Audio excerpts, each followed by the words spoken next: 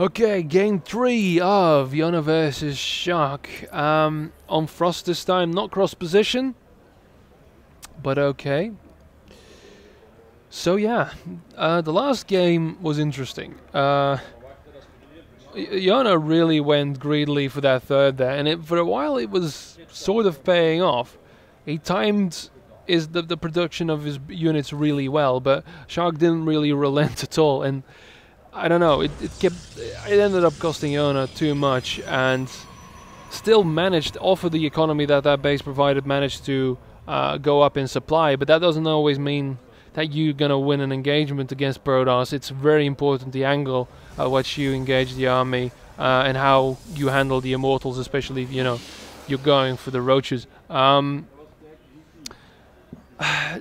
engaging at the third was going to be a death sentence, but I think he then retreated to his natural, which I, I mean, this is just my my speculation. If he would have pulled back and attempted a flank when the uh, the army was going to go inside, the, the Sjaaks army was going to be inside the natural, then maybe the force fields would have been more, you know, more spread out a little bit. He did do that to a certain degree, but I don't think it was just a direct counter to his army that he was facing. So.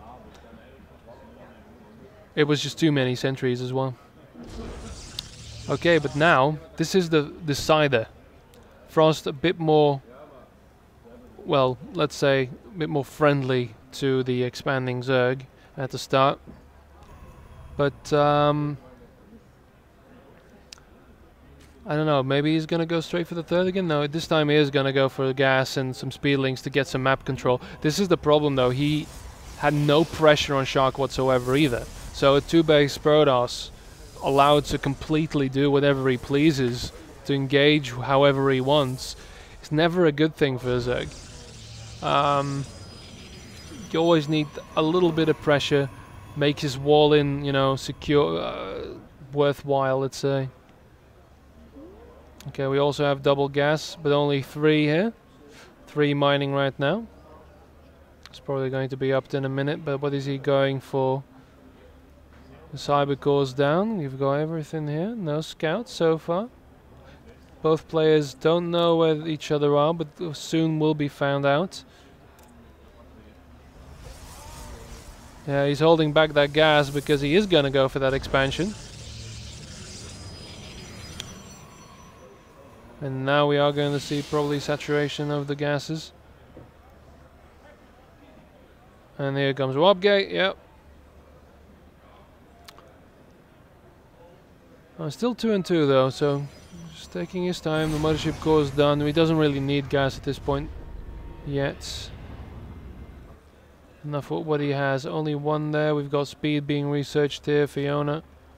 That's fine. Everything slowly building up. I wonder if we're going to see the queens again. It, I mean, no, we will not. We're not going to see the queens, are we? We're not going to see queens and roach because it's just too long a distance and too dangerous a choke. Aha! Stargate. We are going to see some Oracle play. Which might be... Huh. Might actually be... now that he doesn't go for the, the extra queens. Let's look at the production here for a second. There's only two queens here. This is the first time he's actually done that, I think. Third base. Boom.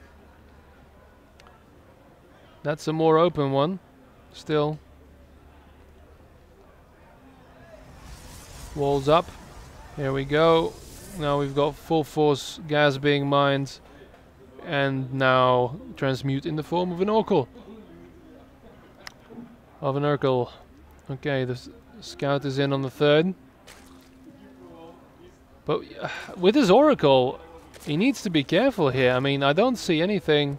He has no scouts on this. He, now, he could possibly deduct that there was going to be a Stargate there. There's a pylon being put down. Is that just to scare him off? And a cancel, just to scare him a bit? A bit of... Like booga booga. And actually enough of a distraction, I think. This Oracle's going to come in and there's nothing here.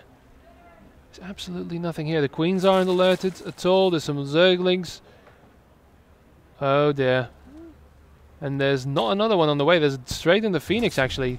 Boom. There you go. One, two, three, four, four, five. Yes. Five, six. This is devastating, actually. That's a good Oracle. Seven kills and goes out to fight the Mereonde.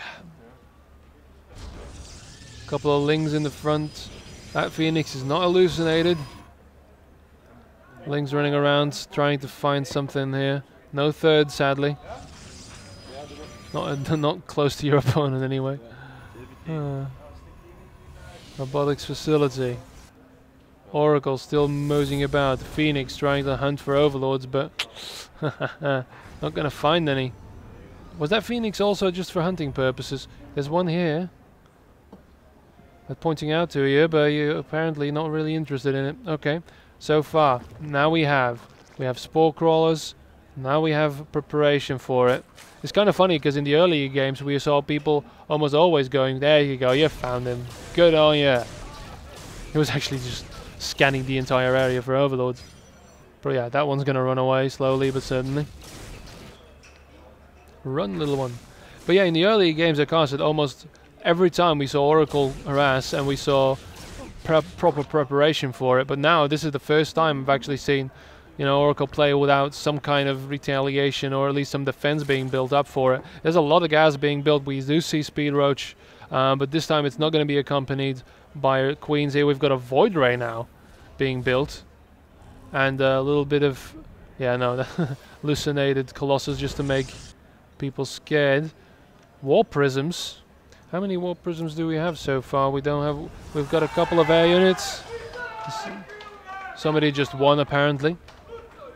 Phoenix, but alone Phoenix does not harassment make. Just gonna slowly scout it. It's gonna be pretty straight up. You've got the Spire, you've got the Roaches, you've got the Void Rays here now. The Spire is gonna be used for the Corruptors to beat off whatever Void Rays and Phoenix's shenanigans. That Oracle actually had 10, has 10 kills now. Managed to snipe off a couple of more. Okay, we've got a little bit of a push here. I don't know how successful this is going to be. There's going to be 15 roaches for the ground and a couple of billion zerglings as well. Uh, but about more than 20 zerglings are going to be in here. So this is quite a low attack. Remember, guys, this is the last game, so this is the decider. Oh, the roaches just pop in the nick of time, and that's going to be a recall. Whew. Thank fuck for recalls. Sjaak really... That's the only reason he could have done that. But now we have the direct counter. We've got that third base up right now. But, oh dear. That's going to be in the wrong... The same army he's going to face, but now out of position. Mm. What else is being produced for him here? He's got one more Void Ray. This is going to be his saving grace. That's actually the reason why we have a retreat here now. Because there's nothing to deal with these until you have the 8 Corruptors that are about to pop. There you go. And 16 more Zerglings. Sjaak, dude, you need to up the ante here. You need to build, produce more units. The Void Rays is going to be great, but your direct counter is going to be in here. Nice reveal, but what is it? Uh, yeah, revealed. Uh, but it, it's not a spell. I don't know. Oracle, Oracle, you are not going to do anything. Well, no. Oh, oh, sorry, sorry. There was a reason. Um, apparently the uh, the queen didn't die though. So not all that successful. But forcing the army back again. We've got the rock, but uh, the first couple of Zerglings, do you have enough? This is the question. There's a lot of Corruptors here though for only a few, a very few, uh, four actually, four Void Rays. And uh, there, here comes the engagement. Here comes the blast, but it's not enough. Is it enough to kill all the Corruptors? No, it is not whittling them down, but that's the only reason they're there. You need those for the ground combat. The force fields are gonna knock full seal on the force fields. There's, just too many roaches. The Void Rays, and there's a Colossus now, but that's gonna get sniped. The Void Rays did win out in the end, but there's 23 Overlords. Oh no, sorry, that's not production. There's 24 more Lings being built. Um, these Void Rays, are they gonna be enough to stop any onslaught of the mineral line here? That's the question now. They're still wailing away at random things here. They're not going to be able to snipe this. They're just going to move in. This is enough. Is this enough? No. There's more lings here. The Void Rays just can't keep killing fast enough. And that's that. He couldn't do it. Not enough. I don't know if that third was such a good idea, the investment there. He needed a standing army. He knew there was going to be... He did well to halt um, Jona at the start there with that good Oracle harassment, that, but that's not going to be enough. That's not going to be the only thing. There's three base Zerg, marginally harassed. That push didn't do anything really because the roaches just popped in time. And again, that attack on the main also didn't really do enough. So why go for the third? Why not just, you know, build up? Because you know the counter's going to happen. You know you pissed off a Zerg when you go for his third. Uh, just not enough production.